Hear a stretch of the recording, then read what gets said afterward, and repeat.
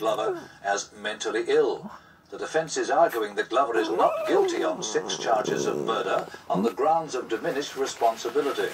In an interview, the 58-year-old salesman had explained, it's as if John Glover, the good guy, He was bug. watching John Glover, the bad guy. I felt powerless to stop it.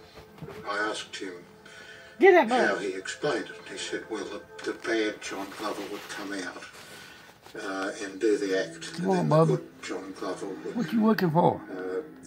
then take over, which was very easily dealt with by saying, well, at what point did What the you looking for? good John Glover come out? Huh? Was it What? before you washed the hammer or What? afterwards? You see, it was so it was so very clumsy. Tell me. The jury rejected Glover's insanity What? plea. They found him guilty on all charges. Justice James Talk Woods described Glover as a dangerous man who, if released back into the community, would almost certainly gratify his desire to kill. Glover was given the maximum sentence for each offence. His file was marked, never to be released.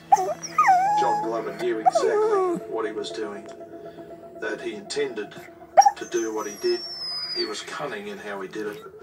And I think that uh, I would put him in the category of simply being bad.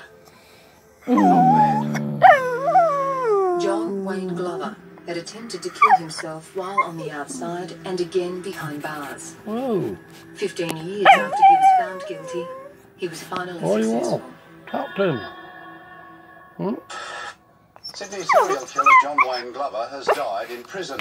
The man known as the Granny Killer was found dead today in a shower block at Lithgow Jail. He hanged himself. 72-year-old Glover What was about jailed in What? 1991 What? for the murders of six elderly women on the What North you want, Shore. Bubba? No family members attended Glover's funeral. Hmm? He was buried as he lived. Okay, you ain't gonna talk no more? You gonna talk? There are other crimes in, in, in Australia that have similarities to the crimes committed by John Glover. I still to me. believe that there are certain aspects of his life and aspects of other crimes that may have been committed that one may never know about.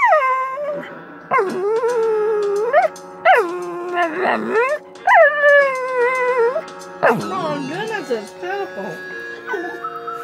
Do you want to go outside? That's he wants.